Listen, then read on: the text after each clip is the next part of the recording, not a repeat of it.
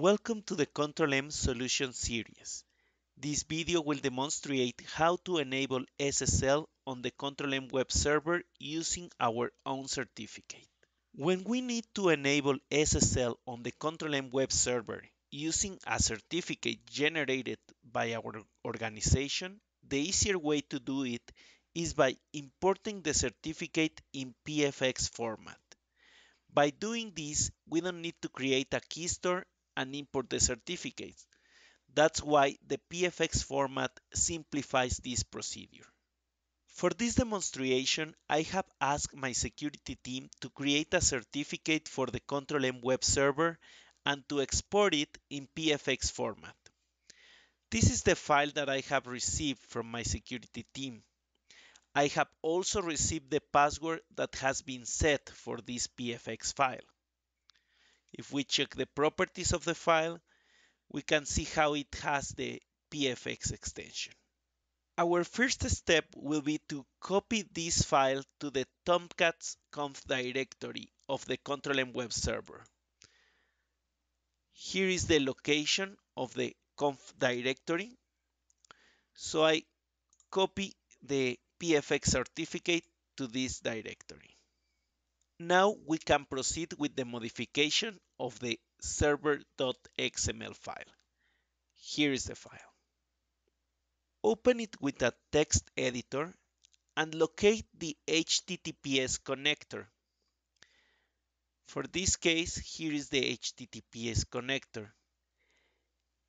If it is not already there, add it with the parameters that I'm showing here. Here is the port that I will use for the HTTPS interface of the Control M web server. These are the three parameters that we need to modify in order to use the PFX certificate. The key store file parameter contains the path to the PFX certificate file. Since we have already copied the file to the conf directory, we only need to type conf slash and the name of the PFX file. The key store pass parameter contains the password that has been set for the PFX file. This information must be provided by the team that has generated the PFX certificate. In this case, this is my password. We need to type it in clear text. The keystore type parameter indicates the type of keystore that we are going to use. For the PFX certificate, we need to type PKCS12 as, as I'm showing in this example.